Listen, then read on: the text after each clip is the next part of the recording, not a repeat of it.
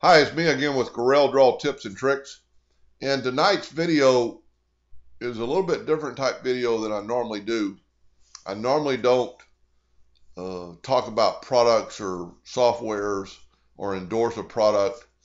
And nobody's asked me to endorse this. I've just, uh, it's such a neat product, I thought I'd let you know. I've been using this product called Boxit for about five years now and I use it all the time, and I've used it on several projects. And instead of just making decorative stuff, you can actually make useful items and boxes. But it's made by a product a company called Laser Jumpstart. Their website is laserjumpstart.com, and they make several uh, softwares, all for the laser engraving industry. But tonight, I'm just going to talk about Boxit. And so here we're going to go and I'm going to show you how, how easy it is. I've got my icons just kind of floating tonight. And I'm going to start with a 2 inch by 2 inch box. And I just drew that out. And I'm going to show you how easy it is. Go over this Boxit icon and hit Boxit. Now you're going to come up with some variables. Your thickness of your material. And that's going to determine what box is going to do. It's going to make finger joints. And this is going to be the length of the joint sticking out past your wood on the sides. So this is eighth. I'm going to, you know, be using eighth inch plywood. So I'm going to use, you know, 1.25, which is eighth inch. But be forewarned that all eighth inch plywoods or all eighth inch woods aren't equal. You know, you're going to buy some, and then in the same batch, you're going to have some that's 0.11 or 0.14 even. Now, if you're using something like alder where you want your edges to be equal, you want to kind of test that first. On a plywood that you could sand off the, if your material was sticking out a little bit too far on the fingers, you could actually sand those off the other variable is the kerf. I think the factory default is 0.004. And you might find that that with your particular laser, that might be a little bit too tight because these joints are so well precise cut that when you put them together, they might be too tight to put together. So you can change this and make it 0.005 or 0.006. And that's something you can test and I'll show you in a little bit later in the video how you could test that.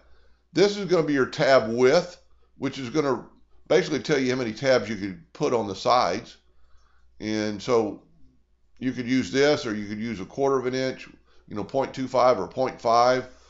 On a really big item that's, you know, 18 by 18, you could actually use one inch, and you know, cut one inch tabs. The only other variable is the box height, and we're going to leave this at two. And so our, we're going to end up with a cube that's two by two. You can have a lid or not a lid. You can have a bottom or not a bottom. And all you have to do is check none. And what that's going to do, it'll leave you a clean edge for non-bottom. We want a bottom on this. Now you can, I think default it's going to label your part. So we're going to do this real quick. And it's going to label our parts.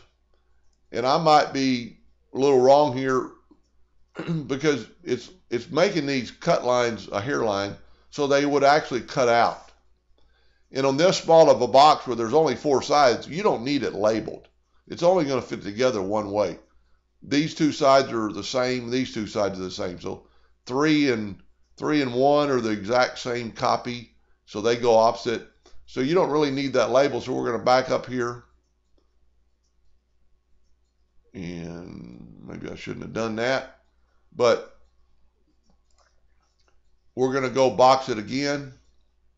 And this time we're going to go, I don't need the parts labeled. So it's going to draw out the box. Now this very first top box you don't need because that was your original drawing. So you could delete it. But then these pieces are going to fit together. So here's your top and your bottom, but they're equal. So it doesn't matter which one's which. And you can see your two sides are a little bit different where this tab where you can just see it right here where that tab's going to fit inside the DAT tab. Now, when you buy Boxit, it comes with a, uh, quite a few projects. They've got some that are very easy, like this one. They've got some intermediate intermediate ones, and they've got some difficult ones. I actually drew out the whole state of Texas and made a box out of it. And uh, somehow I don't have a picture of it. I sold it or gave it away. But in this particular box, it's you, you're making two boxes, and one of them slips over the other box. The, the bottom box has a bottom edge, and there's another box built inside of here that actually would hold your roll of stamp. The top box doesn't have a bottom, and it'll actually slip over. So here's what it looks like if you cut it out, and it's already drawn for you. It's already they've already got the slot. You could change your, you know, that's one thing you neat about Boxit. You could write on any side. You could, you know, engrave, and you could change that font. Um, you could put anything you want. You could put U.S. Post Office stamps. But here's what I'm saying. This is the bottom, and these are your bottom pieces. So it, it didn't make a top, so it's flush. These two tabs fit in these two tabs. These are these two are the same, but you can see how that one's going to fit in there. And then here's your top of your box and your four sides, but it doesn't have a bottom. So it's going to slip over and fit on that edge. Now, they make some really uh, interesting parts, and this is where labeling your product would help you. If you were going to cut out this E, this one you don't need. This is your original, but it's going to tell you, you know, that there's A12 and A12 goes in the A12 spot. It would save you a lot of time trying to figure out, you know, where that goes. So there, there's where labeling can help you. But they've already drawn this box, and I think it even comes, well, I know it does. It comes in the project deal, but it, it looks like a shadow box effect. It's it would probably be in a difficult one because the edges are tapered in and outward. Um, it's made out of two different colored woods to stand out. They did it for Epilog, and they they use it at their shows uh, to show what Boxit can do and, and what they can do. And here's some projects I've made. Um, if you've never seen my video of my Ferris wheel, go to Doug Green Ferris wheel or Doug Green merry-go-round, and you'll see this. But I made a switch box to hold the switch, so it'd be all wood. And this is what's so neat about Boxit. You can, you know, engrave a line and engrave a nail hole and make it actually look like planks of wood. You know, I actually cut a uh, a grate so people could wipe their feet off. Here's the um, here's the three things I use for Boxit to um, this covers up the transformer. Here's a clock I made. And this is so easy. This is eighth inch plywood. And this particular one, I, I cut this out and then I backed it up with a piece of wood that painted blue. So it shows through. This is a supposed to represent the ocean on the curvature of the clock. But these are two bays down in Rockport, Texas. but what I did, finger joints in woodworking, this is what these are called finger joints. They're one of the strongest joints there is. But what I did on this particular clock, on the back side, I cut out the middle. This is a 12 by 12 clock.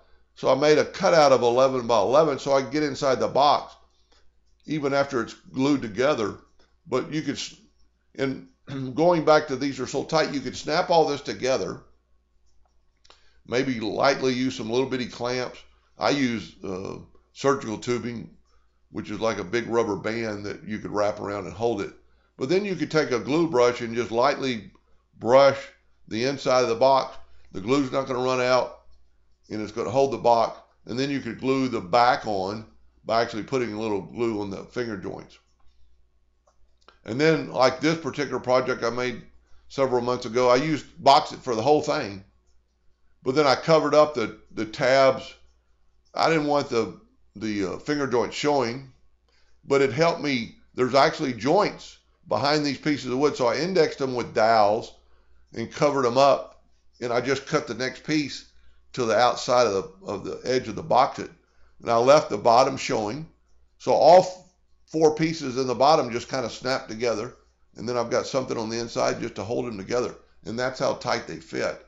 I've made Kleenex boxes uh, or tissue boxes out of different colored woods. And it's so easy. I mean, on this particular one, I, I told it no, don't cut a bottom, so I've got a flat edge. And then I was able to cut a hole for that. now, with all that being said, they make other project, other products, uh, even inside a box. That there's cartonet where you could cut out something with cardboard. I'm not going to get into that. They make a cube in a box where it looks 3D. They actually make a pedestal, so you could you could take this same square and go to pedestal. And I'm not going to go over all the parameters, but then get rid of your original box. Get rid of your original box. Well,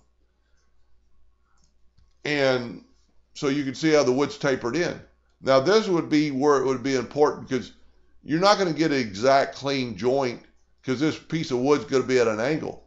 But you could sand it and it would look flush. So they make that. They make a couple of things that I've never even played with. Uh, shadow box and anyway. Now, getting back to this real quick. If, let's go back to our little two inch box. And let's say, so when you're cutting this out for the first time, to find out what kerf you need for your laser. You could, you don't need this piece anymore, but you could put these two pieces, you know, up here. And well, let's do this. Let's just move them up here. and now you could cut this out, out of alder. And, the piece is only two inches by 13 inches you haven't really wasted that much wood if your test didn't work. Now, they're always going to fit. You know, they if they're too tight, you can press them together. If they're too loose, you can glue them together. But you can play around with that kerf and make them perfect. But what I suggest, let's say these pieces are six inches by six inches or 12 inches by 12 inches, and you're going to cut them out of plywood. You don't need to waste that much plywood basically all you need to do is test these joints right here. So I found, and I've made another video about this, the way to test this would just be to grab your rectangle tool and you could do these two joints. You really only need that joint. Draw you a box around it. Take your virtual segment delete key and just delete this. Delete this. Take another rectangle delete this, delete this. Now when you, you're actually, then you could group this together and, you know, move it closer. Then you could cut out those two pieces of wood that are only going to cost you, you know, not even an inch by a little bit more than a half an inch. And you could test these two joints. And you could visually kind of see if it works or not because the laser is going to take away wood. So that's how close this is going to work. When that takes away that wood, those two joints are probably going to fit perfectly. So instead of wasting, you know, big sheets of wood on your first project, and pretty much once you've got your kerf done, you're done. Now this would be another way you could test your thickness of your wood when you put these two joints together and you would put them where this is at a right angle to this piece, you could see if your thickness is, is good enough. But it's a it's a great product. Uh, I use it. I've used it several times. Uh, they've got some good projects in there, and um, anyway, go to their website, check them out. Pretty neat product. I hope that helped a little bit. Thank you for watching.